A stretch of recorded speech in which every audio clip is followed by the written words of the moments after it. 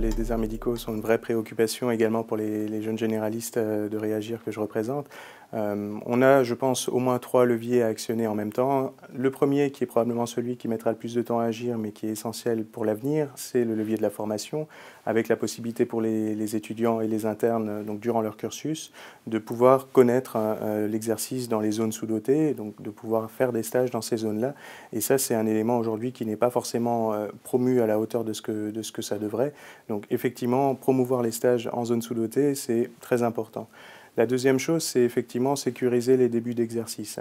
Euh, par début d'exercice, j'entends à la fois le remplacement et l'installation en médecine générale.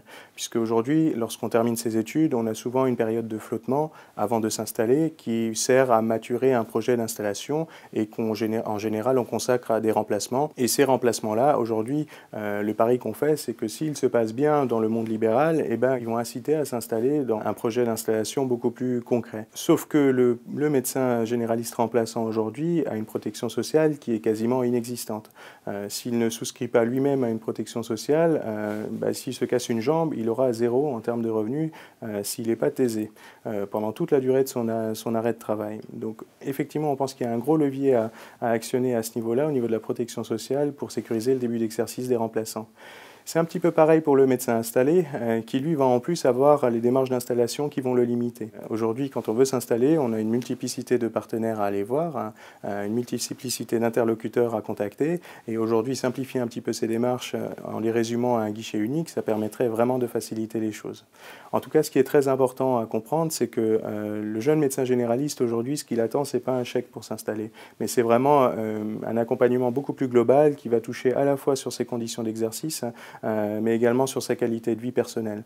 Et si on n'a pas compris ça, on passe à côté. Le meilleur exemple de ça, c'est le contrat de praticien territorial de médecine générale qui existe depuis 2012 et qui est aujourd'hui signé avec une ARS, entre le médecin et l'ARS, pour favoriser l'installation. Et comment est-ce qu'on la favorise? Justement en lui offrant une meilleure couverture sociale, qui passe notamment par un vrai congé maternité pour les femmes médecins qui le signent. Enfin, le dernier point, le dernier levier, qui est, qui est un levier assez, assez large, c'est pousser vers de, nouvelles pratiques de, de, médecine. Euh, je pense par exemple à l'exercice mixte, qui aujourd'hui est plébiscité, un médecin qui travaille majoritairement en libéral et qui fait un peu de salarié à côté dans des structures.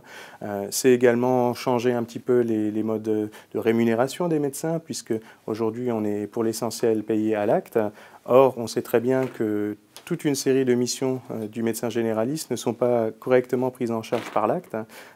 Donc passer à plus de forfaits est une bonne solution. Enfin, euh, je dirais que le travail pluriprofessionnel est vraiment plébiscité par les jeunes médecins. On a un encadrement euh, réglementaire aujourd'hui qui est ce qu'il est, en tout cas qui n'est pas suffisant pour sécuriser vraiment l'exercice pluriprofessionnel. Et ça, aujourd'hui, il faut absolument que ça se mette en place pour qu'on puisse développer cet exercice pluriprofessionnel et doubler le, nombre de maisons de santé, euh, comme ça a été annoncé par nos politiques.